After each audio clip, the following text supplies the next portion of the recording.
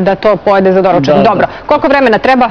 Do desetak minuta maksimum. Ok, onda ćemo da se vidimo kako to sve izgleda nakon tih desetak minuta i ovaj, šta si još sve upotrebio za taj recept. A u okviru manifestacije Rakovičko leto danas će biti organizovan autoslalom, relativno nova automobil, automobilska takmičarska disciplina.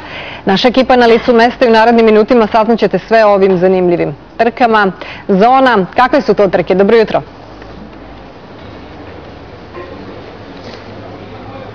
Dobro jutro, Goco, javljamo se sa lica mesta, ovde na platovu ispred e, zgrade opštine Rakovica i u okviru e, sada već tradicionalne manifestacije Rakovičko leto, pored sadržaja koji su e, uvek tu, kao što su brojne aktivnosti za najmlađe, ali one malo starije, pored brojnih priredbi, priredbi i koncerata, ove godine autoslalom trka. To je relativno nova disciplina o kojoj ćete čuti sve u narednim minutima, a odakle uopšte ideja da se ovo uvrsti u program Rakovičkog leta, reći će nam moj sagovornik ovog jutra, gospodin Vladan Kocić. Gospodine Kociću, dobro jutro. Dobro jutro.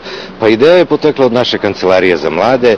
Ideja je jako dobra jer cilj je, pored takmičarskog, jer se trka boduje i za šampionat države, da se deca, odnosno mladi ljudi, mladi vozači odvoje sa, odvoje sa ulice i dođu na stazu da pokažu svoje umeće u vožnji i to je u okviru agencije, borbe agencije, agencije za bezbednost saobraćaja i njihove borbe za bezbednost saobraćaja.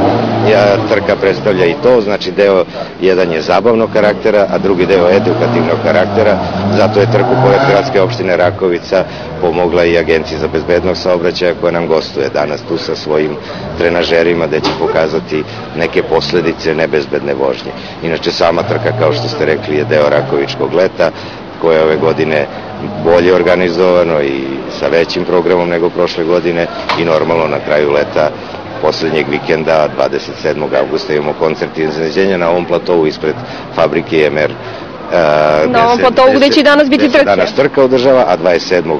augusta uveče očekujemo koncert iznenađenja. Prošle godine je na koncertu gostovala Riblja Čorba, ove godine takođe jedna eminentna grupa zabavljaće besplatno građane Rakovice, a i šire. Moram da naglasim da je ovo trka koja se prvi put održava u Beogradu, jer je sam slalom kao disciplina u automoto sportu od skoro uveden. Prva trka je održana u Kraljevu, gde je bilo 20 i nešto učesnika. Mi za sad imamo 43 učesnika prijavljena. Prijave traju danas do podne, tako da očekujemo i preko 50 učesnika. Možemo da pozovemo i gledaoce Pinka, kogod želi da učestvuje, može. Dovoljno je da ima e, saobraćajnu, e, da vozačku dozvolu B kategorije i vozilo s kojim bi došao da se takmiči, a možda mu se to dopadne pa nastavi dalje u šampionatu takmičenja. Hvala, pozivamo još jednom naše gledaoce, do 12 traju prijave. Šta je sve potrebno, e, pored vozačke dozvole, oni mogu da dođu svojim automobilom i to je specifičnost ovih trka, u stvari objasnit će nam Vukašin.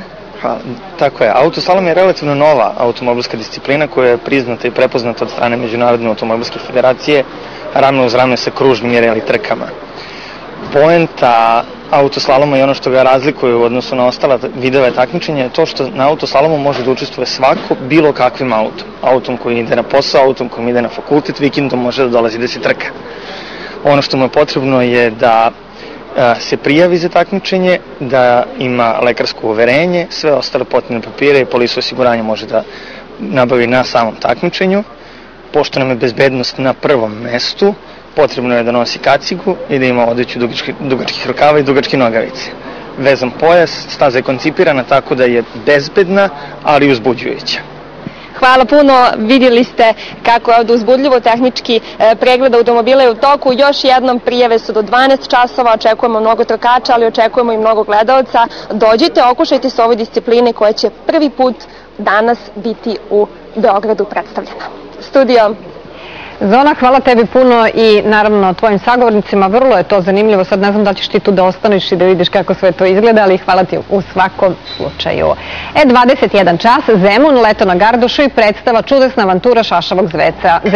Sve o predstavi čućemo od moje gošće, glumice Tijene Vučiti.